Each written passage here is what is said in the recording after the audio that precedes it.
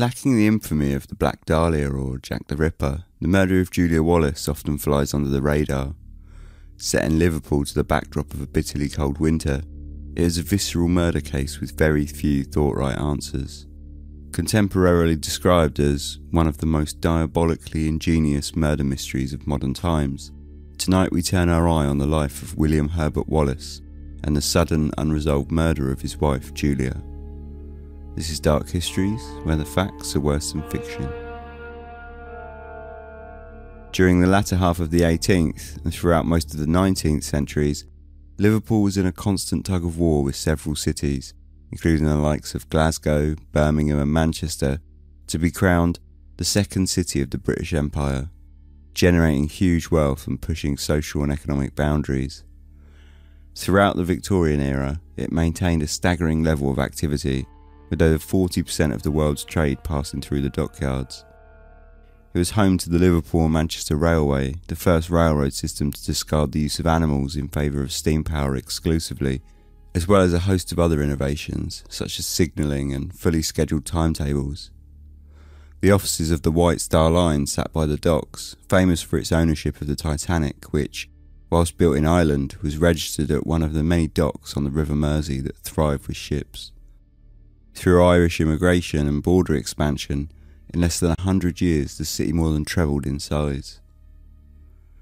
Despite these heights, Liverpool quickly began floundering as the 20th century broke. The Atlantic slave trade, which had funded much of the city's earlier successes, was firmly abolished a hundred years prior, and exports of goods had stagnated and eventually started to shrink. By 1931, the population of Liverpool sat at a number around 850,000 strong. The bars were filled with the jazz of Duke Ellington, the cinemas lit up with scratchy black and white of Bela Lugosi and Boris Karloff. The streets were lined with new housing, emerging from the rehousing projects that had sprung up to negate the rising unemployment as the grip of the Great Depression reached out across oceans, uprooting entire industries and wrecking trade markets overnight. The winter of 1931 was a cold and bitter one. Snow and ice had laid on the ground for much of it, and storms blew through regularly. For most, life was permeated by the simple pleasures of radio plays and walks in the local parks. And so it was for William Herbert Wallace and his wife Julia, residents of Wolverton Street, Liverpool, who, until this point, none had heard of. Within a year, this would all change, as William Herbert Wallace was about to become a household name throughout Liverpool and the nation. William Herbert Wallace was born in Millom, Cumberland, in the northwest of England on the 29th of August 1878. He was the first of three children to his parents, Marjorie Hall and Benjamin Wallace, a printer and stationer by trade and part time insurance agent for the Prudential. At a young age, he showed enthusiasm for the outdoors, sports, and the arts, and was known to enjoy nature, cricket, football, and Greek and Roman philosophy. His father was an amateur geologist and mother a pianist both having a solid influence on William as he grew older when he developed a keen interest in chemistry and learned to play the violin. As a youth, he helped his father in the print workshop, and in 1892, at the age of 14, he left school to start work as a draper's assistant, studying a five year apprenticeship under master draper Thomas H. Tennant in Barrow.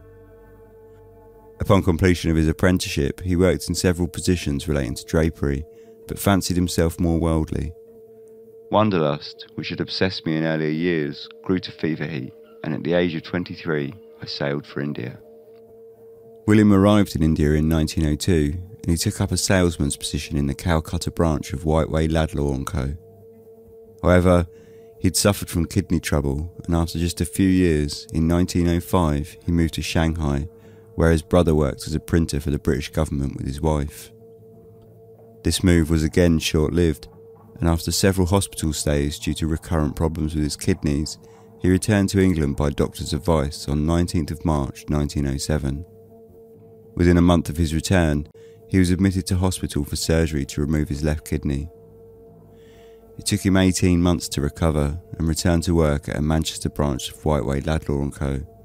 However, he found the work tiresome and droll, and so instead, he left the company to pursue his interest in politics. He lived with his family in Harrogate and began speaking for the local Liberal Party. In 1910, he took the position of Liberal registration agent in the Ripon division of Yorkshire. It was at this time that he met Julia Dennis, who captivated him immediately. In his diary, he wrote of his feelings for her.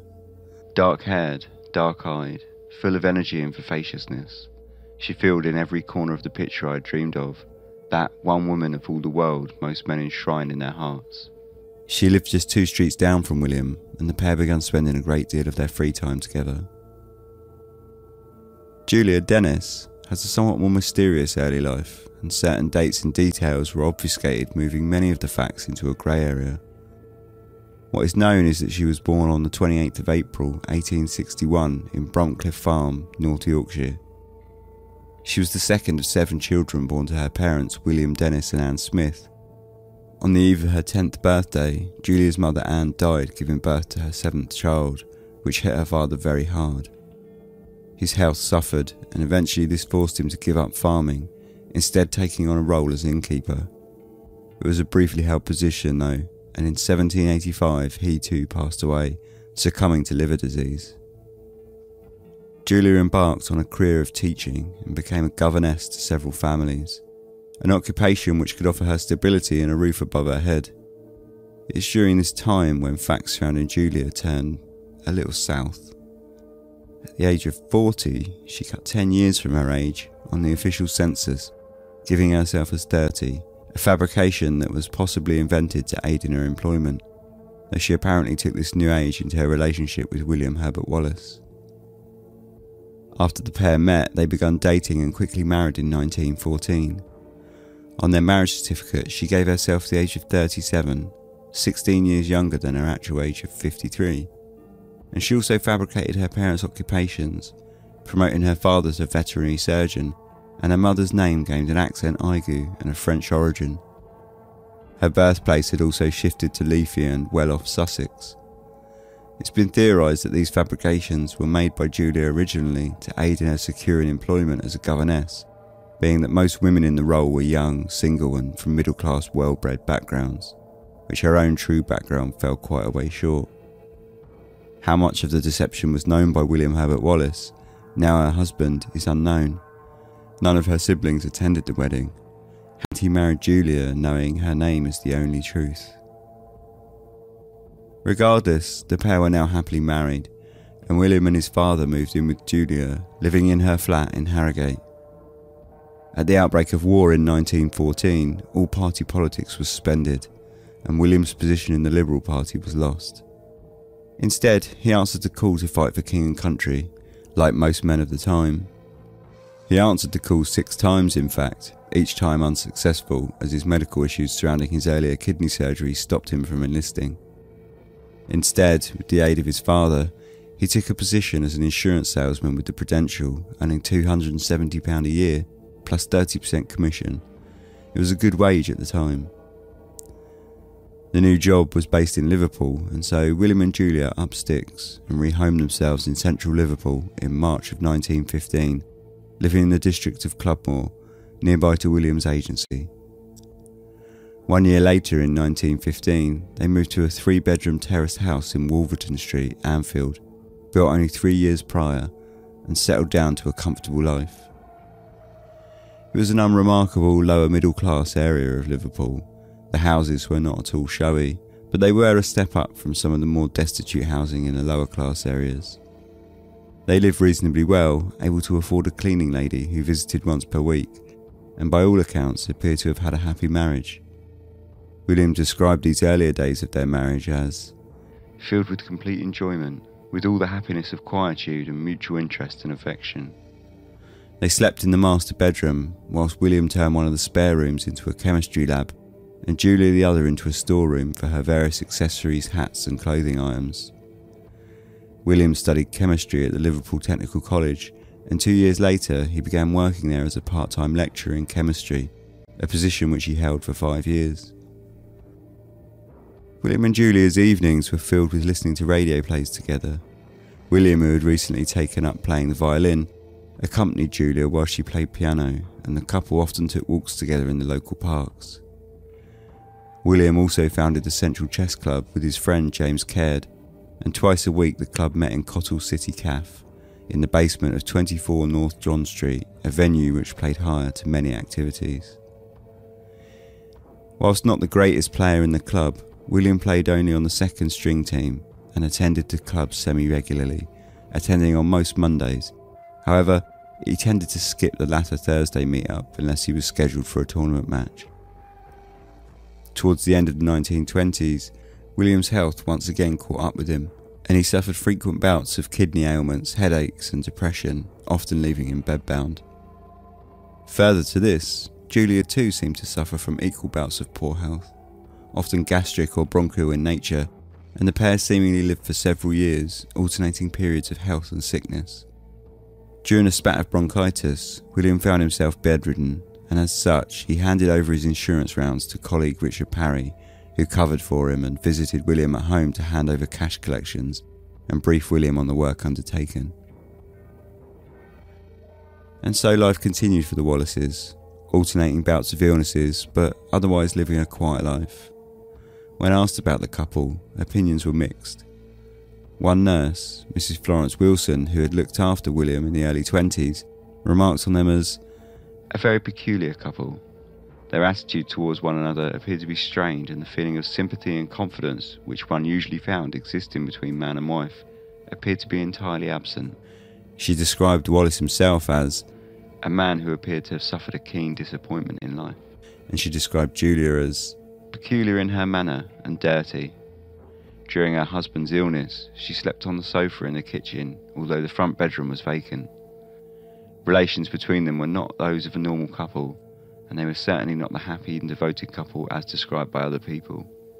Most of this was an observation and opinion shared by the family doctor, who also remarked on his thoughts that the couple appeared to perhaps not be as happy as they liked to appear to others. William Herbert Wallace himself makes little mention of fighting or malice in his diary entries. In fact, quite the opposite.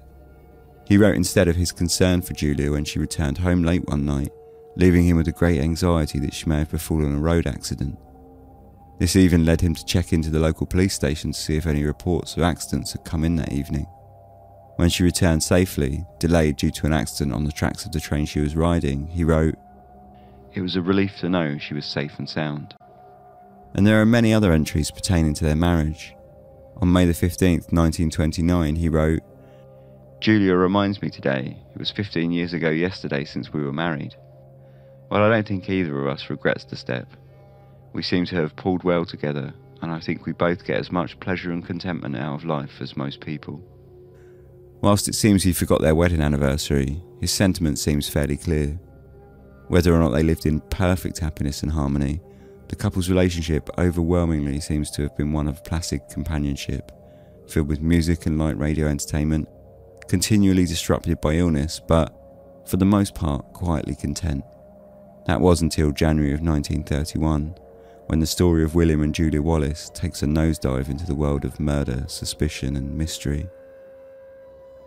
Monday, the 19th of January 1931, was another damp, windy day, following a week of storms that had been hanging over Liverpool.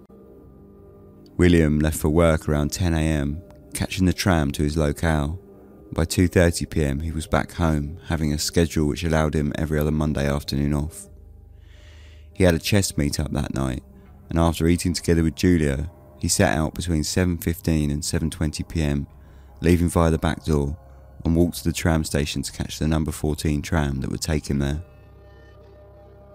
At 7.20pm, Louisa Alfreds, a switchboard operator at the Anfield Telephone Exchange, connected to a phone box, receiving a call from a man asking to be connected to Cottle City Cafe, the home of the chess club. After failing at the first try to connect the two, the same man called back two minutes later.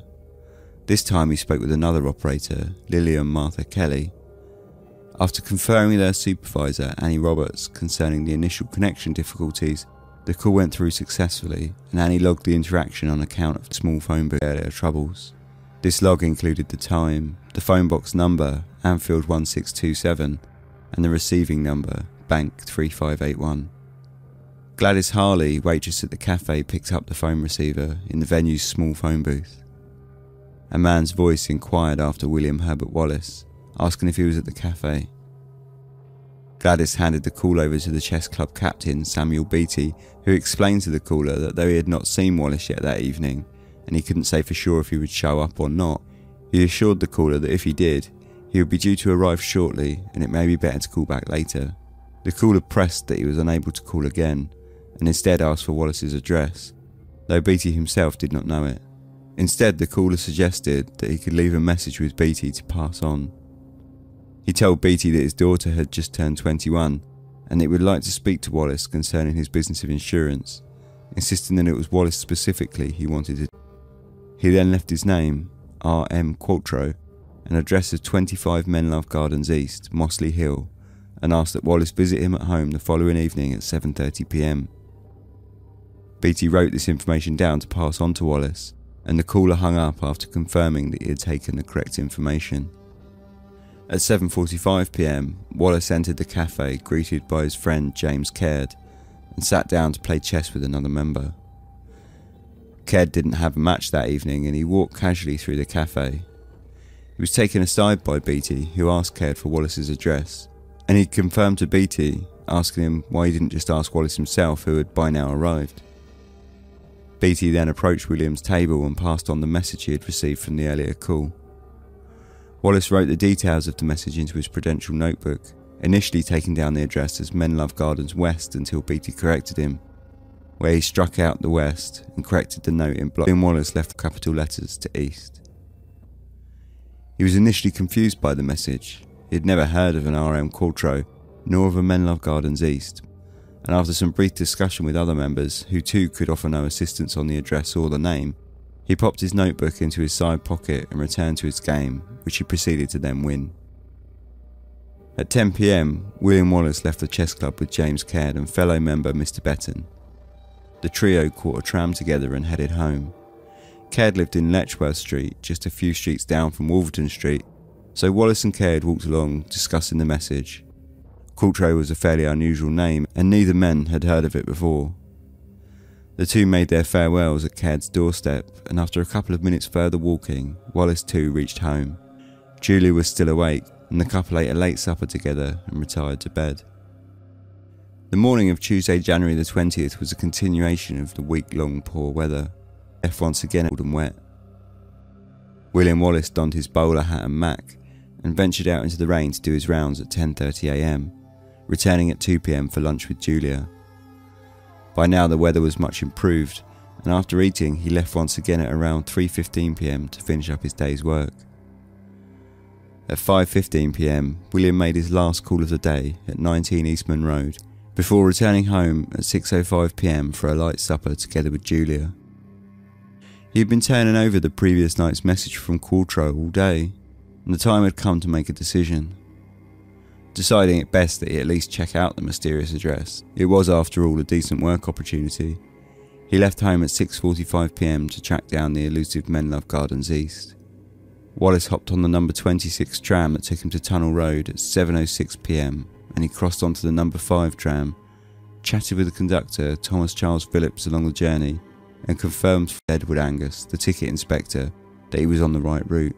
He eventually jumped off at Penny Lane to catch a second connection, boarding the number 5A tram at 7.15pm. The 5A took him to his final jumping off point on the corner of Menlove Avenue and Menlove Gardens West at 7.20pm. Wallace walked down through Menlove Gardens West and he turned into Menlove Gardens North. The maze of roads was frustrating and he stopped a passerby. The woman wasn't overly sure where East was and suggested it could be a continuation of Menlove Gardens West. So Wallace doubled back on himself and continued down Menlove Gardens West until it turned into Dudlow Lane. Here he met another passerby, Sydney Green, and asked directions again. Green explained to Wallace that there isn't an east as far as he was aware, only a north, south, and west. Beginning to feel like he might be on a wild goose chase, Wallace instead decided to try 25 Menlove Gardens West and he knocked on the door apprehensively. 25 West was the home of Mr. Richard Mather and his wife, Katie Ellen Mather, who answered the door and confirmed with Wallace that she'd never heard of an RM Qualtrough, and he certainly wasn't living at the residence. Wallace thanked her for her time and he stepped back out onto the pavement. He thought he'd try Menlove Avenue and Menlove Gardens South, but found that all the numbers of the houses were evenly numbered. Here he met another passerby who couldn't help they were also a stranger to the area, As he pondered what to do next, a thought occurred now to Wallace. He somewhat recognised this area. His superintendent at the Prudential lived nearby, and maybe he could help. He stopped by his house, knocking on the door, but unfortunately the home was empty for the evening and no answer came. Now at a complete loss, he wandered once again around the local streets until he eventually met PC James Edward Sargent. The policeman confirmed Sydney Green's earlier thoughts that there was, in fact, no Menlove Gardens East. Instead, he suggested to Wallace to try the local post office for a directory where he could at least check for the name Qualtrough.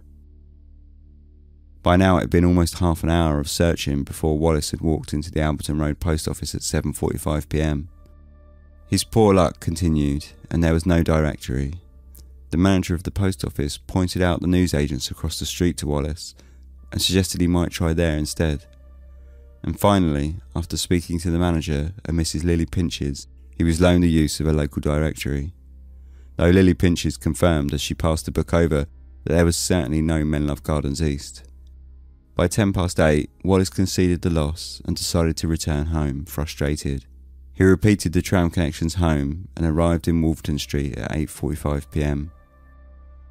Tired and cold, William Wallace slid his door key into the front door of his house, only to find the door would not budge and there was no reply to his rapping. With a sigh, he removed the key and tried the back door instead.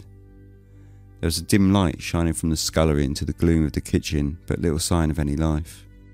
Again, after trying the door, he found that it too would not budge, and he knocked hard on the wood. There was no reply.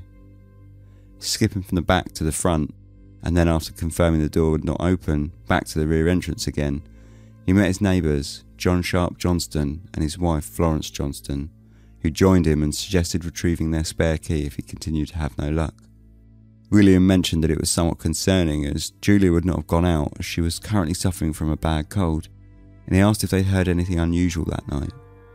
The neighbours explained that they had not heard anything at all out of the ordinary, just as the door finally. William entered the dimly lit house, lighting a lamp with a match. Moments later, he burst back through the same door, exclaiming to the Johnstons, Come and see, she's been killed. The Johnstons slowly followed Wallace through the house from the kitchen, following his lamplight into the lounge, and there, Fully clothed and lying on the floor covered in a blood-stained mat was the body of Julia Wallace.